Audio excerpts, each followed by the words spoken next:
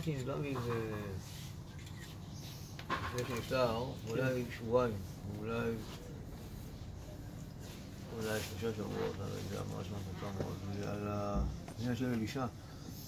העניין של אלישע הנביא, בחיפה, אז הוא בתוך אה, כנסייה, והם לא... כן. וזה חבוד, ואי אפשר להיכנס לשם רק אם אתה משמין, לא לא נכנס לראש, יש שם צלב, ואי אפשר...